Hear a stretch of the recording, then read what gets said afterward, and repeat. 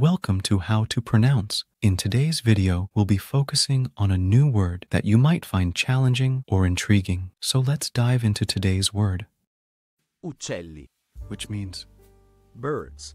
Plural form of uccello, Italian for bird. let's say it all together. uccelli, uccelli, uccelli, One more time.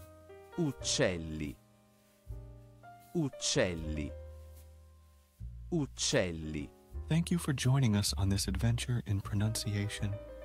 Remember, language is a journey, not a destination. Keep exploring, experimenting, and expanding your linguistic horizons. We'll see you next time.